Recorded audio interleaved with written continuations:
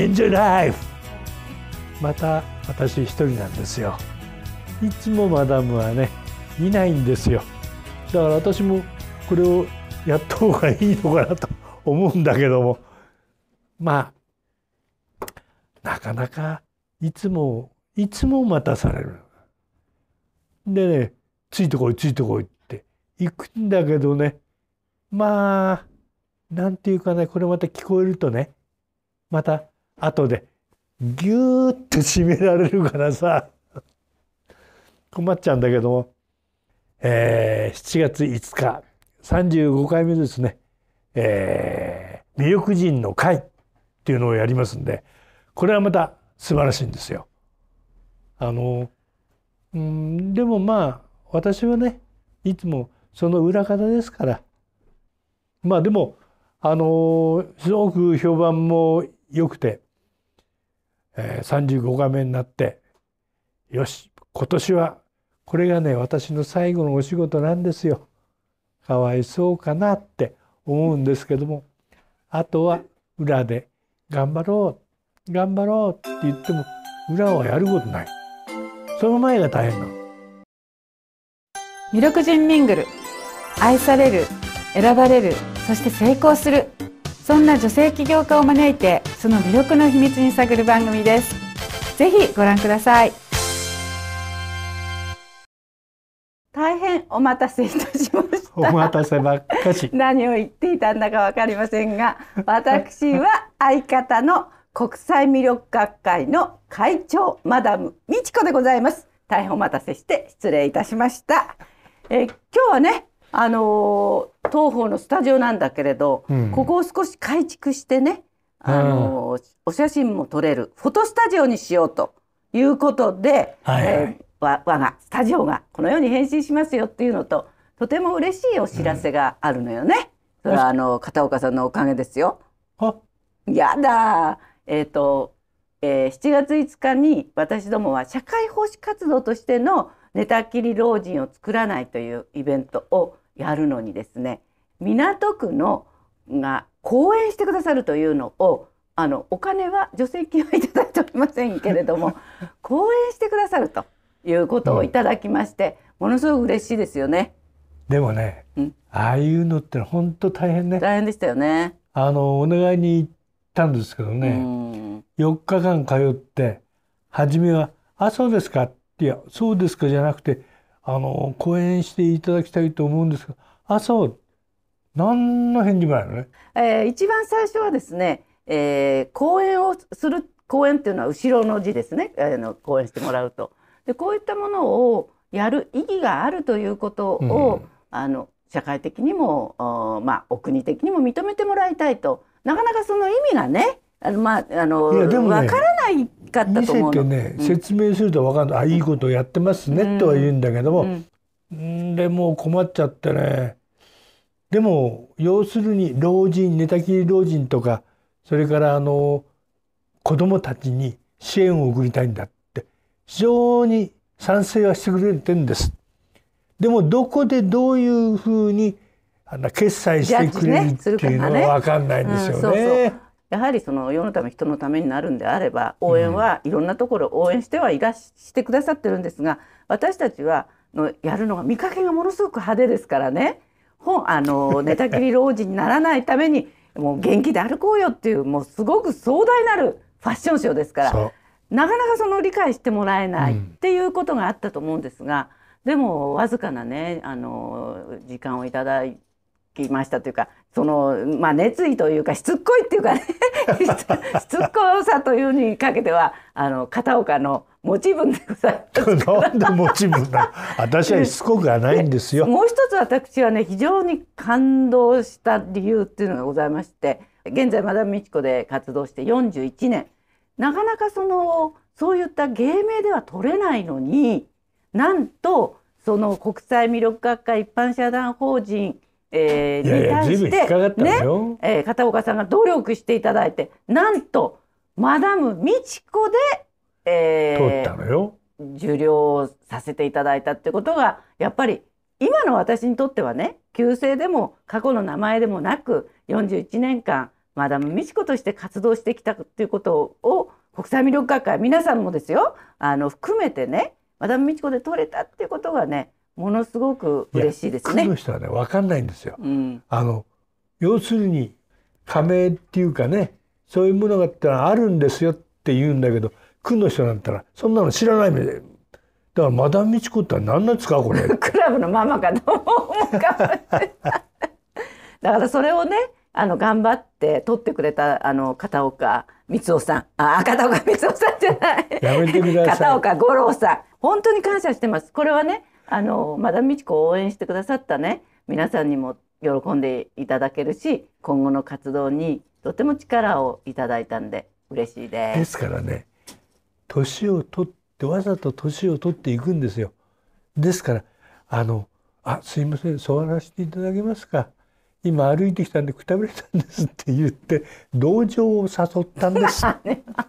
演技力いや同情を誘ったっていうよりやっぱりなんとなくあんまり一生懸命だしあのまあ哀れになったのかもしれない。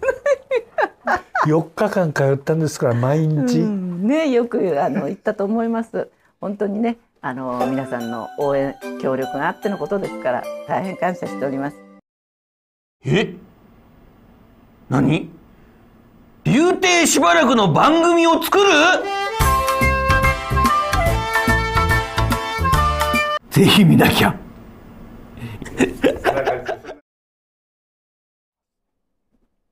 えー皆さんびっくりしますでしょ？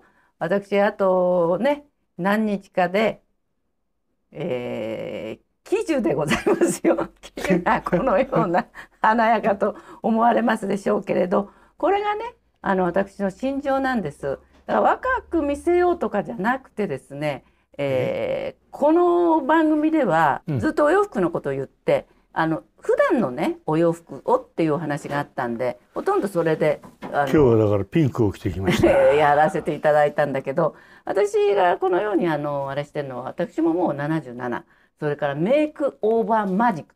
メイク。それがオーバー。魔法。これを、まあ、翻訳しなくても メイク、まあ、非常に過激なほど華やかなあのその紛争というか変身をして60代一昨年70代。僕が出たんだよね。そう。そう。80代90代100歳までの方が変身をする、まあ、変身って言えばねちょっとこうウィッグをかぶってうん。ドレスをしてって、ごく普通の変身をい言うというか想像するんでしょうけどそんなんじゃないんです。もう私がね超地味これは。超超地味ね。もうヘアもすごい。それからドレスもすごい。で60ならまだいいですよ。7080っつったら普通一般に足元が及ばないっていう言葉を言うじゃない？その頭をやってくれる人がフィリピン？うん違う違う違う。あのシンガポールね、うん。シンガポールからの美容師さんなんですけど何が言いたいかっていうとその普通の変身だったら美容室へ行ってねちょっと気分変えてとかいうことできるんですがメイクオーバーオーバーマジック魔法のようにですから非常にダイナミックに変えることによって708090の人はまず自分にびっくり。え私ってこういうのが似合うの？こんなあのなんかちょっとね人から見たらもしかしたら妖怪のように見えるかもしれないけどそのことによってね曲がってた背中はシャンとするしうん。腰も伸びるしうん。ね？あなただってこういうピンク着たりすると急にこうねおじいさんからおじさんに変わっていくでしょ？いやいやピンク着たからじゃないんだよ。まあねあのこれ役者だから。そうだね。それは言えます、うん。つまりねみんな女優になっちゃうんです。役者になっちゃうんです。もうこういうものを着たらこういうふうに振る舞わなきゃいけない。こうやって歩こう。これが寝たきり老人にならないためのビタミン剤になる。もうねたくさんのお薬を飲んだり注射をしたりするよりもたくさんの目で見られて自分はこんな格好ができるんだよっていう喜びがとっても体を活性化するということなんですよ。うんだから私のこれなんか本当に地味。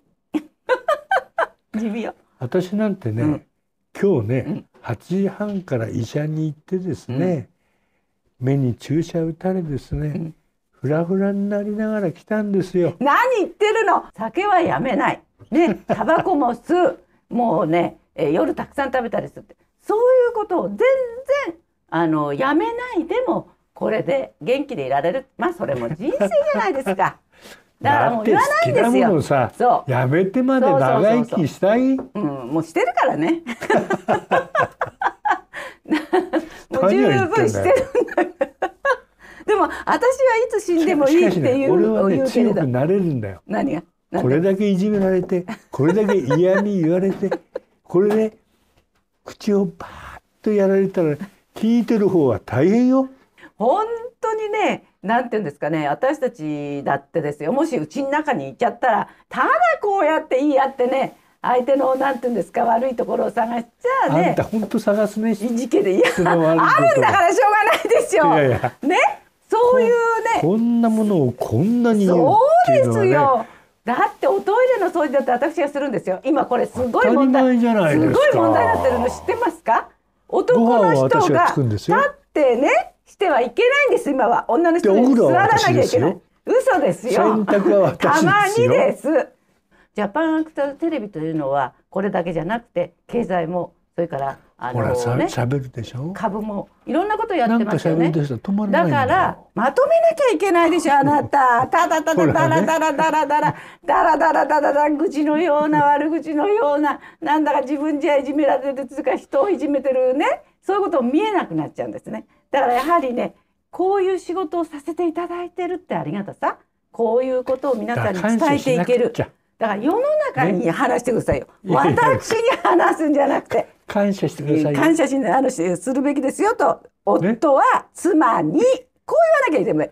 私にじゃなくて皆さんね男の私たちは トイレは座ってしましょうとじゃないと女はそれを掃除と待っててそれで離婚だっていう話があるんですから実際に。そうですよどうしてこんなに女が強くなったんだろそれは男が弱くなったっていうのと もともと同等ですよ。同等。だって女は子供まで埋めちゃうんだから。男なんてもう埋めないじゃないですか。埋めたくたって。う。産んでやろうかな思い切って。ね？あの時々僕が産んだのはってあおかえりなって言うんですけど。でもねやっぱりねあの男女同権って言うけれどそれじゃああの同権は同権だけど異質なね魅力を認め合う違う魅力。だから認めないといけないのよ。認めてる相じゃない。手をね。認めてるじゃん、ね。一生懸命くほら私に言うんじゃないんですよ皆様。ね？これがねおかしいんですよ。皆さんにお伝えするようなことが大事。頑張って私たちはねあのー何があるんだろう。この世の中。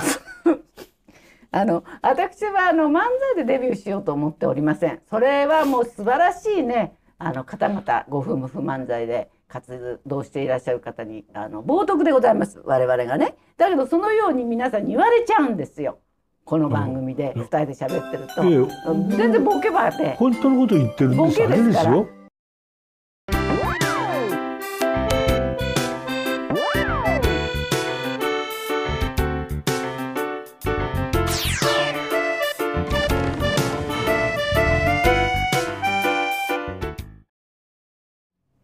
7月5日この日はメイクオーバーマジックね、どんな年になっても美しく綺麗でいる元気でいるっていうことはイコールですから私たちもそのお仲間の一人として、えーまあ、スタッフとして、えーかあの頑張っていきたいと思いますね。であなたはエスコートをするし、モデルで出るみたいですよまたス。タッフですね私はあモデルで出るんですよ。いやいやそのように実行委員からあの言われてました女の人をすっと連れてくだけでしょ？いやいやエスコートじゃなくてね今回は変身してねあの出るっていうふうに企画の中に入ってるみたいですよ。頑張ってください。ね。そうかな。えそうです。私はあのまた非常に重厚なるドレスを、えー作っていただいたデザイナーの方の、えー、息子のなお目地物なんて自分じゃドレスを着て皆さんにお話をさせていただくことになっております。よろしくお願いします。ぜひ皆さん見に来てください。はい